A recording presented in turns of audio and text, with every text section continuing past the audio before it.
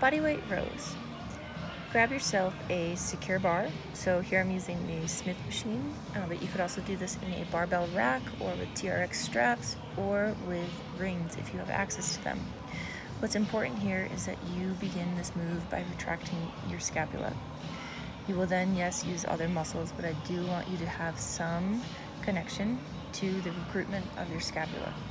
I'm showing this in a full length body position, but if you need to, you can switch at any time to having a little bit more support by having your legs bent, which I'll show here in a moment. Feel free to start your set with straight legs and then go to this position to finish the set or start with bent legs.